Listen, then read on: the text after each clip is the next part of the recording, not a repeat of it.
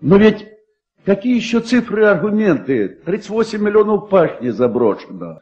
17 тысяч населенных пунктов от переписи к переписи исчезли. Там жили люди, у них крыша была над головой. Геноцид открытый и откровенный, который ведут политики России. От